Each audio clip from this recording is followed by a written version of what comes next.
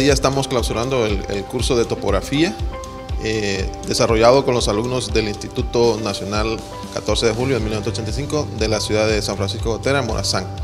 El curso consistió en manejo de equipo, de estación total, diferentes modelos y la parte de lo que es el dibujo eh, básico de topografía, lo que es planimetría y altimetría, desarrollado en un total de 40 horas, comenzando eh, el mes de marzo y concluyendo pues este mes de julio. Eh, estamos desarrollando en su mayoría proyectos que tienen que ver con un impacto de fortalecimiento en el, en el aprendizaje y desarrollo, digamos, profesional de los estudiantes de educación media.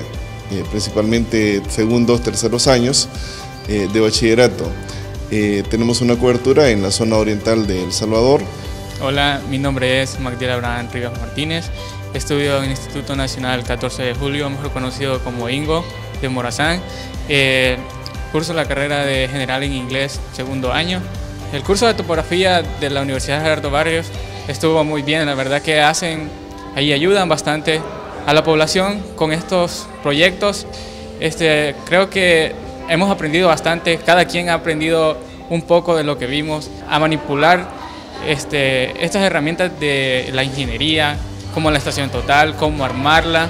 Hola, mi nombre es Dania Estefani Vázquez Hernández. Para armar una estación ocupas el trípode o trípode, como quieran llamarle.